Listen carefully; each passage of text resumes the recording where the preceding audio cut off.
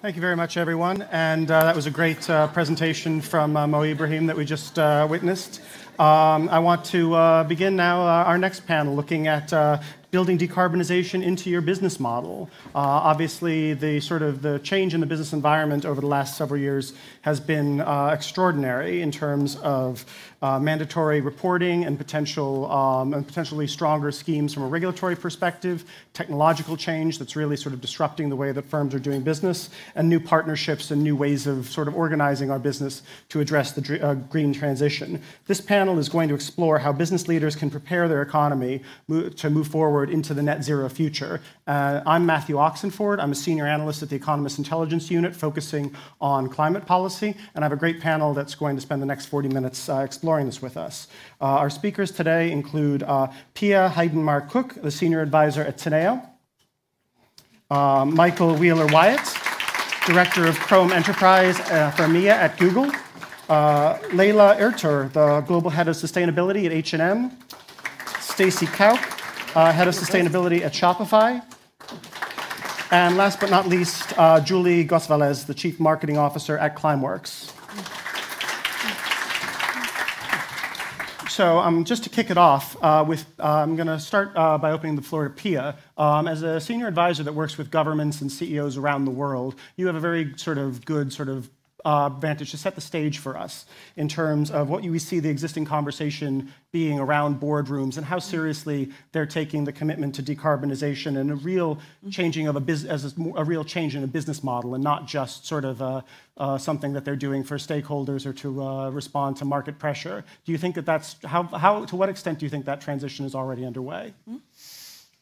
I think it depends on which sector you're in, which geography and who's in the room. Um, so I think uh, Maria and Thomas were talking about all the good progress we're making with thousands of companies signing up to science-based targets, and uh, of course, all of these commitments that everyone is doing, we, they will be held to account. So mm. I absolutely see movement across the board, mm.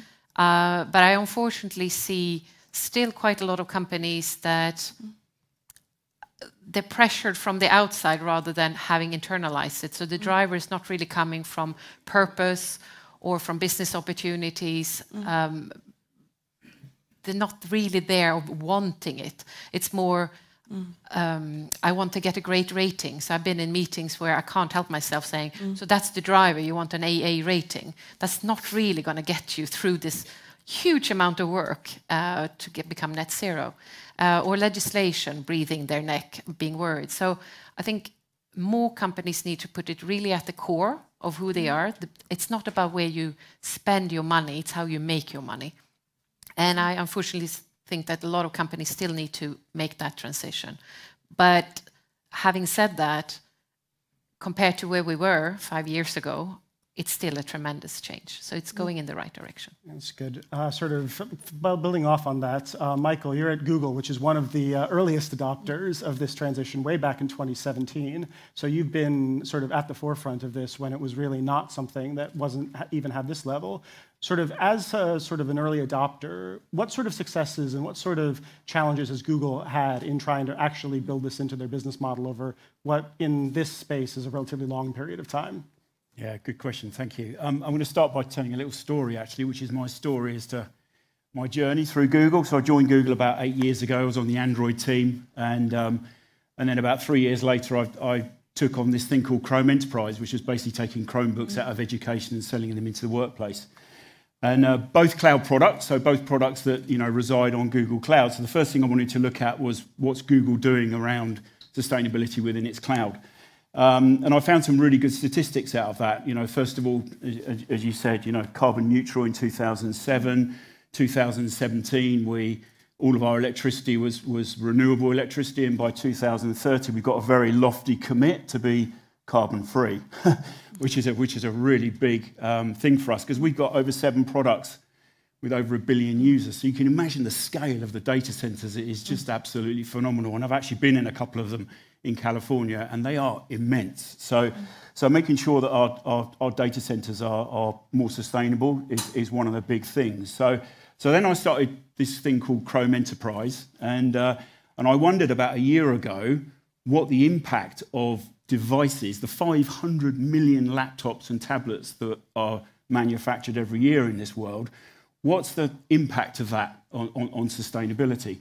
Um, and I got a couple of analyst customers, in, uh, companies in to have a look at Chrome Enterprise specifically, because end user computing is, is, is 1% of the global emissions out there. So these 500 million devices actually have a huge impact. The impact that they have is the same as having a forest four times the size of France every year being knocked down. That's the impact of all the devices that every single person in this room uses. So I did this, I did this and, and, and got these analysts to look at Chrome Enterprise as a product to see if they were any different from the other devices that were out there, from the other, the other, the other vendors. And sure enough, we found out that the average Chromebook is about 46% energy efficient over a, over a, um, a, a competitor's device. Mm. So I went to my VP and I said, hey, we're onto something here. Actually, Chrome out of the box is a really eco friendly product. And he went, mm, greenwashing, not too sure I want to go down that road. Try and give me some, try and get me some real life examples of that. So I, my team went out there um, about a year ago. I got an external um, vendor in, in, uh, in Dublin to go out and, and make some appointments for us. So I asked them to go onto LinkedIn and look for people with sustainability in their title. So decision makers with sustainability in their title. This was a year ago. They found 450. Go back onto your point. I got them to do the same exercise two weeks ago. They found 2,750 people like you with sustainability in their title who are making decisions based on sustainability, which includes the devices which they buy and the devices which they procure. So, so it's amazing. It's actually really, the, the journey is really, really starting. So I'm really passionate about this. And I've actually now got four or five customers who have bought Chromebooks purely because of that sustainability story. So I took that back to my VP. My VP went, Oh, right, you guys in Europe, you're a little bit more ahead of us than we are in the US. But, but you know, make this a thing. Go out and tell the world that not just Chrome, you know, sits on the greenest cloud, but also that Chrome devices are actually really, really really sustainable. So the good news is that all of the prospects and the customers I'm now talking to, it's become a conversation. So one of our big prospects, as an example, is a huge bank. I won't say who they are, they're here, but huge bank. Um, and we spoke to their procurement um, department a couple of weeks ago, and I said, why would you pick a vendor? What, what, what, what are the reasons for you to pick a new vendor? And they said 33% economic, so you've got to be cheap. 33% technology, you've got to be a technical fit. 33% sustainability. That's a major corporate bank in Europe saying that I'm not going to buy from you, Google, unless you're sustainable. That's how far we've come in the last 12 months. So, hope that answers it. Great. That's a very sort of uh, striking story of progress from where you, uh, where you were at the beginning to where you are now. Um, sort of moving on a little bit, uh, I uh, just want to talk to uh, uh, Leyla a bit about H&M and sort of uh, comparing and contrasting with Google. Obviously, as a fashion and apparel company, uh, some of the challenges that you're going to be facing are very different, particularly around sort of the life cycle use of the products. How do you see um, how do you see that posing sort of unique challenges that are sort of different than what you might see in something like what Michael's talking about? Or similar? Uh, I would like to start saying that we are one of those thousand companies who applied to science-based target institutes and approved our climate working model. But we are one of the few companies who put our carbon emissions next to our revenues. Last year, we came up with our goal by 2030. We would like to double our revenues while halving our emissions. That put emissions basically core of our business because we would like to make sure that while we are growing, we are also contributing to climate. Doing that, of course, we have to look into product, supply chains, and our consumer facing. And we have different challenges to manage all these are when we are working in this operating model. If I talk about product, I'm working with textile around 22 years. If someone asked me 10 years ago, what do you think about textile to textile recycling? It was almost impossible to find a facility who can help us with that. Now it's becoming real. We had Hong Kong Rita working with us for a machine. Basically, you put your old clothes one side, you get a new yarn, other side of the machine. This was an enormous step on recycling where you have the biggest emissions created in fabric dyeing. Then of course we have to invest on further scale up as H&M, supporting new type of fibers, Renewcell, Infinited fibers, or all other innovative fibers with low emissions is amazing. But of course, it comes with the challenges. You need to be part of this. You have to commit on that. You have to invest continuously. If I go to production part, where we have 60% of our emissions, there are a couple of things that we can discuss about challenges. Last year, when we look into where we have biggest emission happening, it was fabric dyeing, because there you have very coal-based production, where you get biggest emissions comes out. Then we said, we will stop onboarding any new supplier who has coal boil on site. The moment you take these decisions, of course, you limit yourself quite a lot when it comes to your sourcing scala. But that we have to agree on this, we are taking this challenge and continuously working with the partners who think like us in transformation to renewable energy models. 2021, we came up with a, our own innovative idea. Uh, we sold 500 million euro worth of sustainable linked bond where the bond will create a funding on the climate actions in our own operations. Mainly, we are going out to our suppliers and saying that if you have a coal boiler in your facility, if you want to change to another more positive operating energies, this could be solar thermal, this could be renewable energies, we would like to fund this. And the reverse of this funding is only, not only money, but it's only with the CO2 reductions. So we have trying to be quite creative ourselves to find solution. But of course, it doesn't end there. Then you have your consumer facing. We have our way of reaching our customers. And when we look into that, um, we are promoting quite a lot resale. Resale is a business model which is quite growing quickly if compared to five, six years ago, but still needs a lot of push. With working with Resell, we invested a company called Sellpy a couple of years back, and now we have Sellpy, which is the resell platform operating in 25 different countries. This is a small piece of our business, but this is something we have to continue in investing and making sure that that become an integral part of our business. This continue with renew, uh, uh, rentals, this could be with repairing. So we have to multiply our traditional business model with new ways of reaching our customers to make sure that we don't only act on innovative fabrics or carbon-free free production models, but also we are reaching our customers in different ways. When we put all these three together, I believe we have a good modeling moving forward with a lot of challenges, but also good positive way that how could we be a grow company while also halving our emissions. Working with the industry players, working with governments, working with other brands is core part of all these challenge uh, solutions all those challenges. That's great. And I think part, the question of partnerships and how that's going to play out is something I think we'll get back to later mm -hmm. in the panel. Um, Stacy, just to sort of bring uh, sort of uh, bring it to you and to Shopify. Obviously, Shopify's net zero commitment is uh, markedly different than uh, the previous uh, members on the panel, but you still are sort of being very bold on sustainability. How do you see that squaring, and how do you sort of set yourself targets that you think are sufficiently ambitious without setting a, a net zero target? Sure. So maybe I'll start by explaining what our business is about. So we're a legal, a legal, a leading global commerce company, and we build trusted technology to start, grow, market, and manage a retail business of any size. We have about 10,000 employees worldwide and millions of merchants that use our technology in over 175 countries. So we decided back in 2019 that we wanted to become a carbon neutral company. We did all of the data gathering, the accounting, and we crunched the numbers. And then we were like, oh, well, we need to be accountable for all of our historical emissions let's go see what we can do. And then it was like, oh, well, we can buy an offset. Well, what's an offset? Oh, we're just going to pay this other profitable business some money to not pollute as much as we just did. And that didn't square very nicely. We actually wanted to delete our emissions.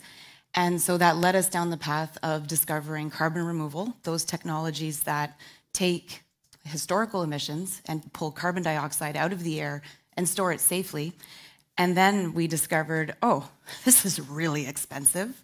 Hmm. And also, there's not a lot of this available today. And so in 2019, we launched our sustainability fund and committed to spending $5 million every year trying to buy and support and be that demand signal for the most promising solutions out there. And that led us down a path of then discovering it's really hard to spend $5 million because these companies don't largely exist yet. And so, because we've already become a carbon neutral company and addressed our scope one, scope two emissions, and the big buckets in our scope three, which are obviously corporate travel and employee home office energy usage, you know, as a technology company, we're largely left with the laptops we buy and the pens and pencils our employees use. Like there's not a lot left in scope three to deal with that we can have an impact on. And so what we decided to do was optimize for impact. And when we think about the businesses of our millions of merchants, their scope three emissions are shipping, big time. All of those packages flying around the planet are causing a lot of emissions. So, what can we do to kickstart the adoption of clean fuels? Big question. What can we do to encourage the use of renewable power? Well, we shut down our data centers, move them to Google Cloud, fully renewably powered, but that's only our data centers. That's not the entirety of the internet, right? So then we have to push decarbonization of the electricity grid. So we do that through power purchase agreements and trying to build new facilities and provide them with that purchase guarantee that brings more of that online.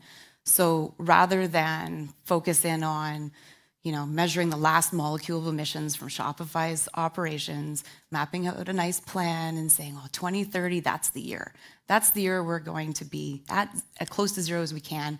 And then we'll go out and buy carbon removal to address all of what's left. But if nobody's buying carbon removal today, there's going to be nothing for everyone with a net zero commitment to buy in 2030. So we're kind of flipping the script and we're trying to optimize so that the carbon removal is available at the price that's reasonable and at the scale we need when the net zero commitments come due. Well, that uh, segues pretty, uh, pretty well yes. to, uh, uh, to Julie. I think that uh, obviously the role of carbon, uh, of net zero and carbon removal in your business model in Climeworks, which is a carbon removal company, for those who don't know, is quite clear. But sort of looking at this, sort of what we've said so far, how do you see sort of the policy and partnership and sort of larger ecosystem that you need as a business to succeed in, uh, in doing what you uh, hope to do in terms of scaling and in terms of uh, reducing the amount of carbon dioxide uh, that's in the atmosphere? Yeah, I mean, I think clearly partnerships, right? We, we heard this a couple of times, are really vital. Partnership with customers, I think, you know, no addition needed to what Stacy just said in terms of creating the demand and signaling a strong, uh, a strong pipeline of incoming orders for companies like, like Climeworks to build the supply, but also from a policy standpoint, creating the constraint that will drive large-scale adoption of carbon removal, um, you know, overall, um, but as well ensuring that the technology in the full supply chain is actually powered, right?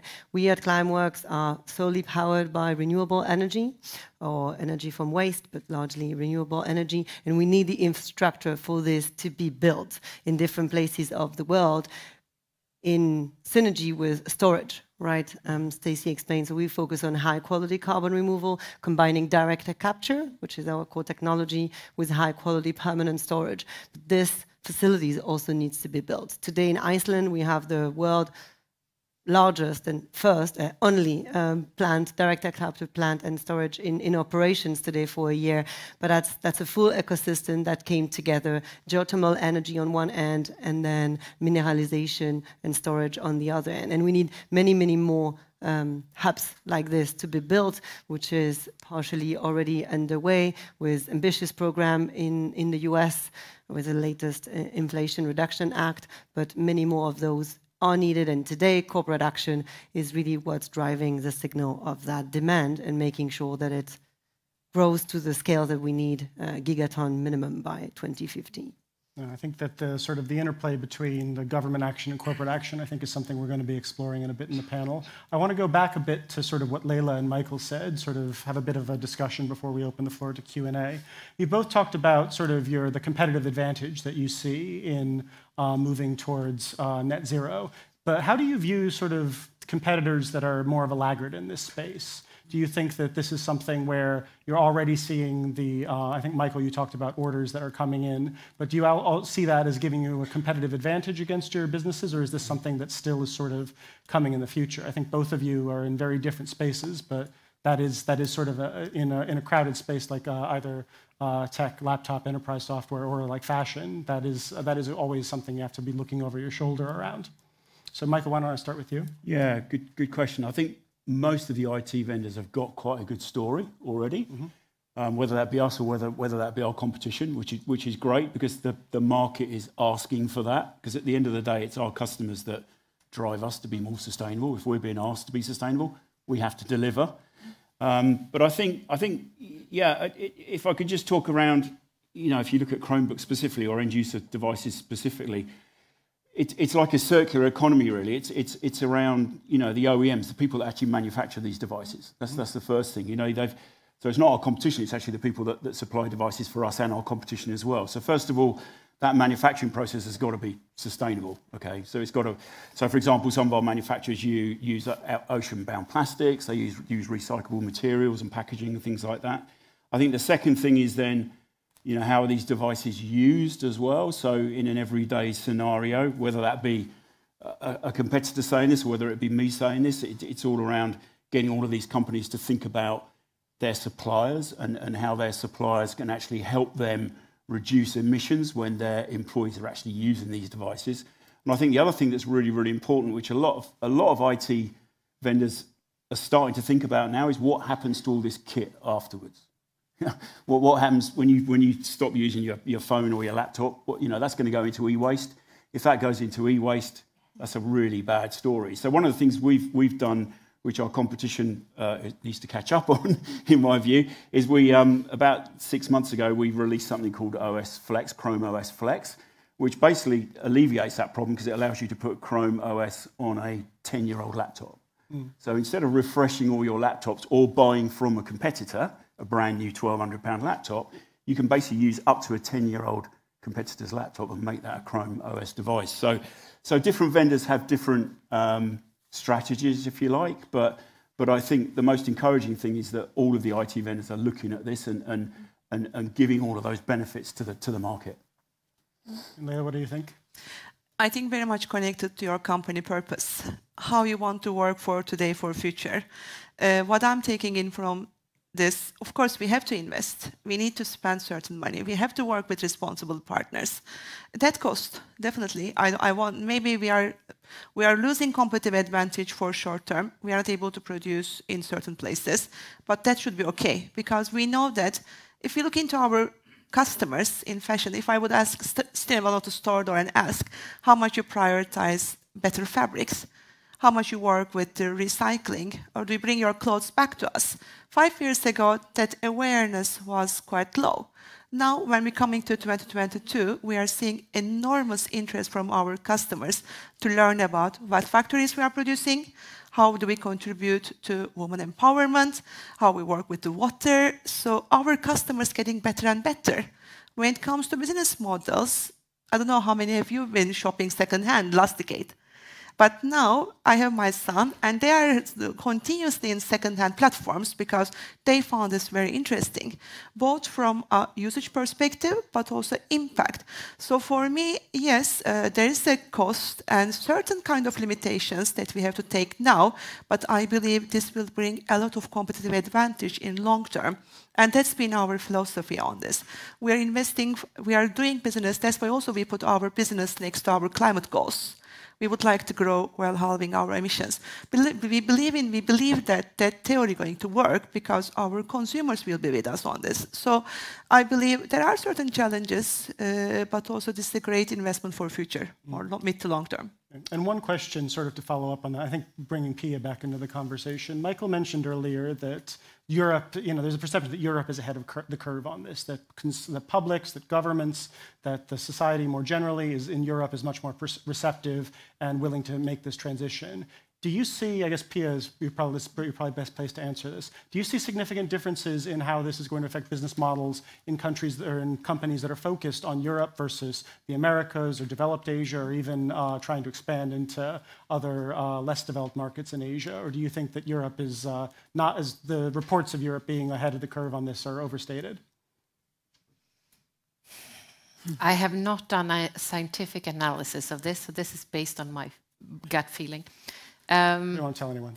This, definitely differences. Um, I think one of the biggest differences, going back, it's all about people. Uh, there's, of course, technology, there's investments, but it's fundamentally about people and the educational system. And I think we have in Europe talked about this for a longer period of time, and we have not made this as polarized and as political. So it's, it's much more around business models and technology and investments rather than ideology. And I think that actually puts Europe in a better place, at least today.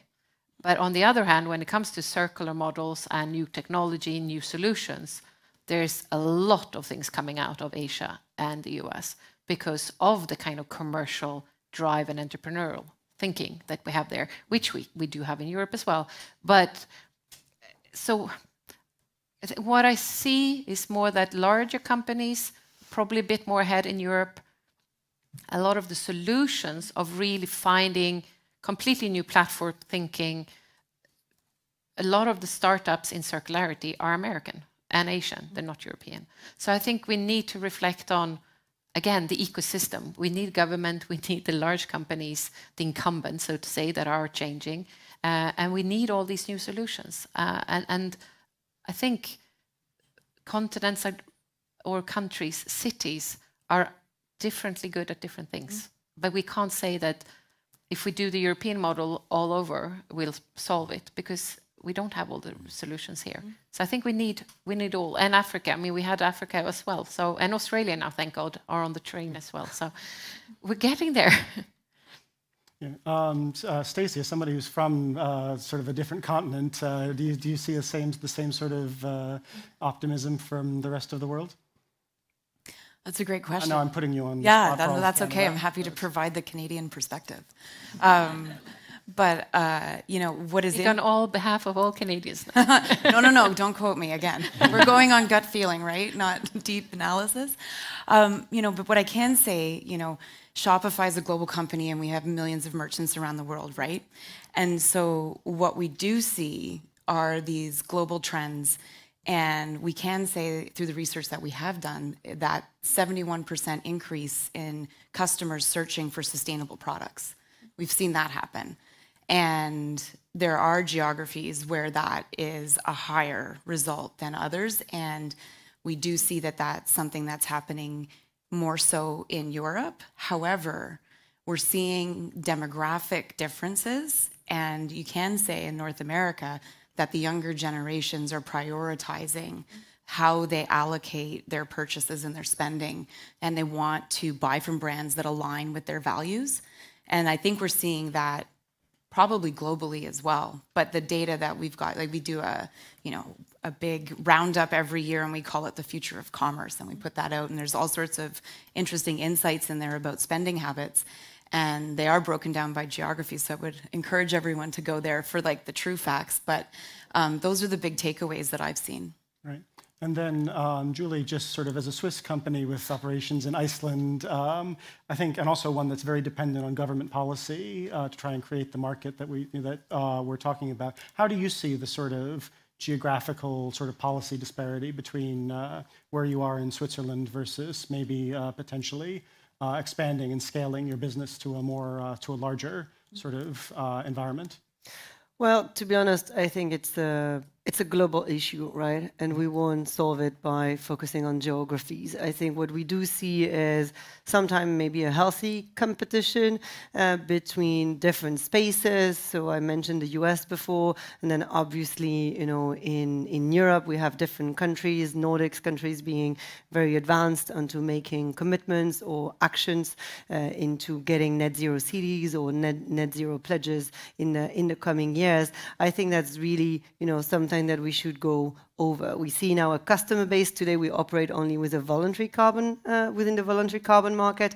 We see, you know, customer from equally U.S. and Europe being largely concerned by by creating that demand for uh, emission reduction solutions, but also uh, but also carbon removal solution. So I think you know we are active in all these areas, you know, across across Switzerland, Europe, but also different countries and uh, and, and US to make sure that we have this full, you know, demand, but also infrastructure built. Great. Uh, I want to. We have about 10 minutes left, so I want to open the floor for questions. Um, start with uh, the woman in the back there. Is there a microphone coming around?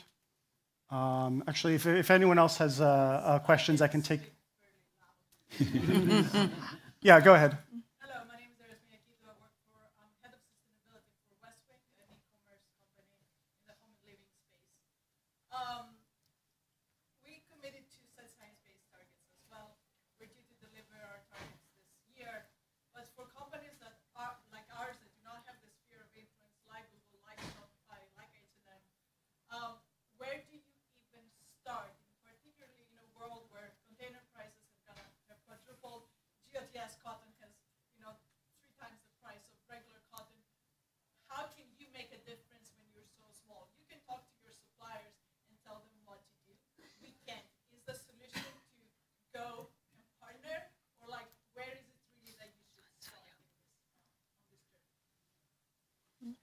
And do you want to take that?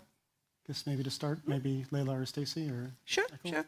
Um, I need to understand a bit your business model, of course, but what comes to my mind first is that I would rather look into same size of companies sharing my values, trying to club together my power, trying to club together purposes, because I understand it's very difficult and slow to walk alone on this especially when, when the things, I mean, when you're not in direct control with your value chain. Uh, I would rather look into like-minded brands to club together activities. Do you want to? Yeah, I mean, you took the the word right out of my mouth. It's collaboration, mm -hmm. and I think scope three. It's not scope three. It's the scope of collaboration, mm -hmm. because it really is all mm -hmm. about figuring out how to leverage either your purchasing power if you're a very large business and a large brand, or figuring out how to leverage the specific thing that you can influence within your own business. And what is the way that you specifically can have the most impact? And like you were saying it's, it is often about coming together and combining that purchase mm. power and that's one of the ways that we at shopify think about it. Like we have a platform. We have millions of merchants and we are trying to find ways of taking what we've learned about our emissions reduction strategies, buying carbon removal, and trying to put that out on our platform because what that can do is help smaller brands show up alongside the big brands and win. And so that's one of the superpowers we have that we try to leverage. But I think that every brand has something that they can bring to the table to contribute to reducing emissions. Just adding one more sentence to that. I mean, our competitors in field, our partners in this area. I, mean, I meet up with our competitors, different, not only sustainability, but their business teams quite frequently sharing what we are doing. Because if I won't do that, I will never get enough impact that I wish to. So I would rather look into competitor landscape, how they work uh, in these areas. can I, can, yeah, I, can I add to that? Because I think you make an amazing point. Yeah generally about sustainability. This is how every single person in this room thinks. How can I make a difference? That, I mean, I was talking, I've got two daughters, one's 21, one's 23. They're asking me that all the time. They're like, Dad, what's the point? Are we, are we past the point of no return? What can I actually do as a 21 year old or a 23 year old lady in today's world? How can I make an impact? And I, th- I think that, for me, that sums up everything that we're thinking about at the moment. Forget the fact that I work for a huge company like Google and Chromebooks are 46% more energy efficient than, than a competitor. That's all great. But at the end of the day, it's down to every single person in this room to make a little change, no matter how small that might be. Um, I was reading a story today, not IT related, about mattresses in the UK, right? How many mattresses do you think are disposed of in the UK every year? Five million. Five million mattresses five Wembley stadiums full of mattresses. And this story was all about this company that is actually um, using a new process to clean mattresses. Um, and at the end of the process, they give them to people that can't afford mattresses. So, you know, even things like mattresses, which we all sleep on every day, there are ways for every single person in this room to make some type of an impact, whatever that might be. But I think that's a really important question because that's what the human race is thinking about at the moment. How can we all individually make that little difference? Going back to your point, to collaborate as a planet to actually make things better, which is, which is what we're all trying to do. So, I was just going to add two things, maybe even more practical, um, uh, hands on. One is the SME Climate Hub. So find organizations that already have brought a lot of like-minded people together because it is also difficult when you're small to find everyone. Uh, another one is if you're working with consultants or advisors, speak up because if you talk about these are my challenges, there is someone sitting with a similar challenge. So not to kind of think that I have all the solutions, no one has the problem, because we all we're all looking into how to do this now. Mm. Great. I think we have quite a few questions, so I'll just take one round. Uh, we have the woman in the front, uh, the man in the blazer, and then just in my sight line, the woman uh, in the uh, in the white blouse there. And then uh, let's get the let's get the, the last guy in the back just to wrap it up. Okay. Um, thank you so much. It's really nice, um, you know, presentations and, and ideas. I'm just curious, as global companies and um, companies that's dealing with um, a number of suppliers, both in the um, developed country and also in developing countries. How are you taking social value um, within your business? And how much does it actually rank in terms of, you know, in terms of how you deal with uh, your suppliers and as a company itself? Okay, and then the man behind, the gray blazer there. Hi, um, my name is George. I'm from Birth. Um, we're essentially a company that tries to make climate action accessible for everyone. I think this question is mostly for Leyla. Um, have you seen, I mean, there's, a, there's a massive trend of um, companies, retail companies, starting to work on, on climate labels, carbon labels. Um, is, have you seen any push in the clothing and retail industry and, and in general um, in try to make this information more transparent for every single customer um, so that they can compare that one shirt, for example, the, the, cotton comes from Egypt, the other one comes from Italy, and then, you know, like the production and transportation comes from further away from China. Um, have you seen this? Is, this? is this in the strategy of your company and, and in your peer companies in general? And then the third question from the woman in the uh, white blouse. Uh, hi, uh, Anna from House of Bauken, and um, so the same space as, um, as H&M. Um, and I guess the question, as a much smaller brand, is not that different from um, from the one previous, um, but more geared towards how do you, as H&M and also Shopify, ensure that when you are spearheading these other smaller uh, companies and, and you know almost taking a stake in them in what they are doing, ensure that you are not pricing out or um, strategically putting away or creating a space where smaller brands can't access anymore um, unless they go through you or the systems that you have created. Because as a, as a company that is indeed smaller, I think that that has been a, concern for us that previously we could go to other small companies and have a, an open conversation with them and um, have uh, relatively early access to what they are doing as well. And that in increasingly we are seeing that um, other bigger players will have gotten there first, and we've either been yeah, priced out or they say, you know, maybe in five years' time. And what we are experiencing, obviously, is in five years' time, we can't put that in our pathway to decarbonization. I have one last question in the back, and then I'm afraid that'll have to be it for this panel. Hi, uh, thank you very much. Um, I, I, just had a question because the title of that presentation is about building decarbonization into your business model. But what if your business model is not aligned with the planetary boundaries? And I think that's a question maybe to Leyla, where you know the world of fast fashion and the 16 to 20 collection a year can be quite extreme in that sense. And I wanted to ask you, you know, don't you maybe have an opportunity to revive and rethink your business model that would be more aligned with the planetary boundaries? Thank you.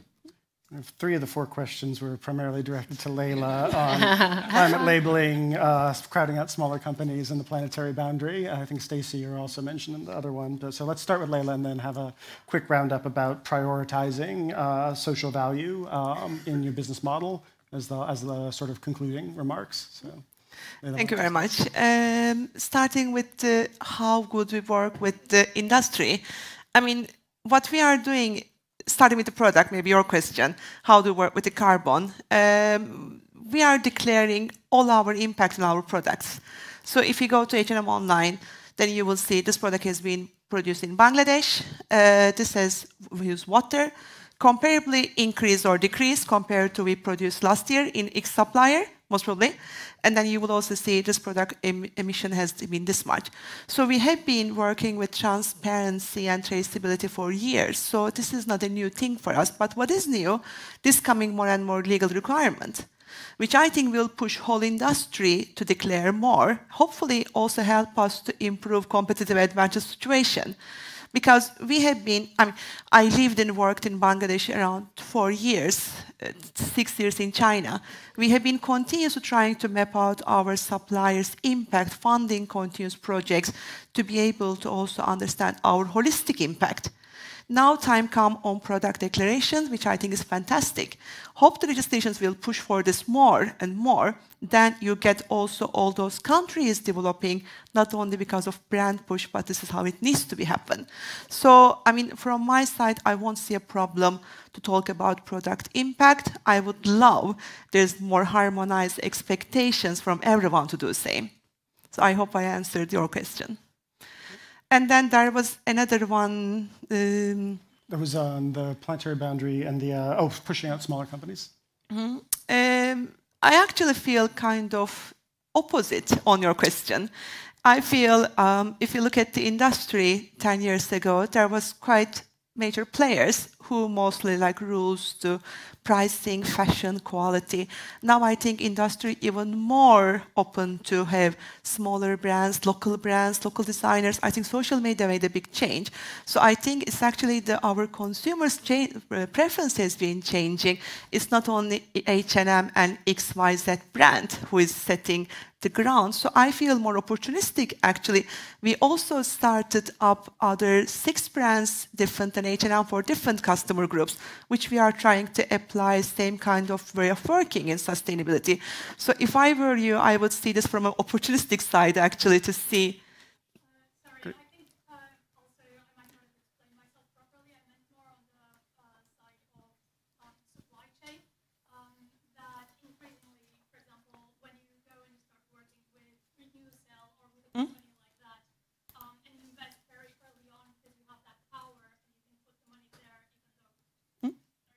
and you can put the money there even though you might not see anything come out of it for a few years where a smaller company cannot. Um, and we're also seeing um, large companies like um, H&M and to a certain extent, I guess, um, Shopify in, in, in a few different areas in their collaborations with um, logistics and so on, maybe taking those stances and occupying a certain space. Mm -hmm. and perhaps, I don't know if you, you, you might indeed disagree, not leaving a lot of space or smaller companies that cannot put that money forward from the from the get-go? Hmm? We don't have any of our partnership to book capacities because this is not what we're aiming for. The more different buyers comes to renew, Renewcell, Infinited Fiber, or any other innovations that we are invested, it's actually way better if more companies comes and help us scale up. I understand your question. Of course, all those startups have limited capacities in the beginning. Uh, that's why also could be a prioritization, but definitely with the time comes, the more buyers interest, more brands interest, and I believe they grow in capacity. I think we have a great example with Renewcell. A couple of years ago, they were quite small, was only focusing in one plant. Now they're opening their third plant and really opening up themselves for different brands. Uh, I think it's just a matter of time, a little bit, uh, for your access to all these innovations. We have to take, um, we need to use our size and scale to support innovation, maybe do a couple of capsule collection, but our ambition has always been to open up because it's way better for us. Different buyers, different customers at the end sees all those innovative fabrics, which we can also use more in our commercial collections. Thanks very and much. there was last one about yeah, the business a, model, right? Hmm? Uh, there was one question about the business model. If anyone has, we're a bit over time, so if anyone has something very short to say about how business, the business model is prioritized in social. Maybe Pia, do you want to take that? I think there's a lot of climate talk right now, but there's also an awful lot, or not awful lot, wrong word. I'm Swedish, not English native. Um, a wonderful amount of diversity and inclusion uh, work. So I would say maybe not unequal, uh, because I think human minds, we, we tend to say prioritize, we can't deal with too many things at one time. So we say climate, because that's the one thing we talk about. But definitely, if you talk to large companies, the social dimension is absolutely there at par with the environmental. I mean, that's why we have the S and the E. Great. Well, thank you so much, everyone. We're uh, over time, so I'm afraid we can't continue, but this has been a great panel. We've had a lot of discussions around partnerships, around, around sort of the different politics and geography and the sort of the impact of net zero and sort of a very optimistic view of how things may be changing um, uh, in, in the corporate space, although obviously there's still quite a few laggards. So it leaves me just to uh, thank the panel, thank our sponsor, uh, Google Chrome, and to introduce uh, Nelly uh, De Gogul, who will be uh, leading our next panel. Thank you very much, everyone.